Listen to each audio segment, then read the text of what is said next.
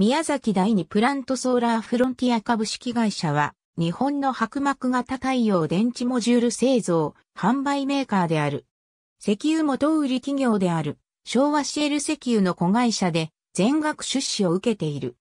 1000億円を投資して、休止中であった日立プラズマディスプレイの製造工場を買い取り、年間の生産量900メガワットという世界最大規模の太陽電池生産工場、宮崎第3工場を完成させた。2011年2月に稼働開始、7月からフル生産に入った。設立は2006年9月で、2010年より現社名。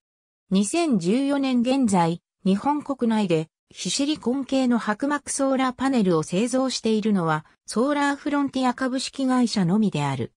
白膜型太陽電池は、シリコン系の単結晶、多結晶タイプのソーラーパネルより、発電効率が低いため、同量の出力を設置する場合に効率が高い、パネルよりも広い面積を必要とする。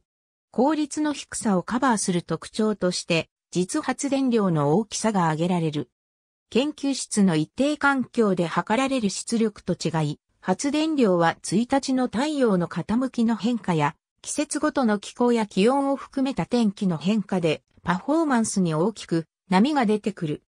CIS 太陽電池モジュールは、シリコン系と比べて、下記の高温条件下でも出力低下が小さいことが実証実験でも証明されており、全天候におけるパフォーマンスが蓄積された結果として年間を通した発電量が多い特徴がある。シリコン系と比べて価格が安いことも CIS 系太陽電池の特徴である。市場で取引される価格は中国製の安価パネルと同等のコストパフォーマンスを実現している。2011年、井川遥主演の太陽に愛された女シリーズを放送。ありがとうございます。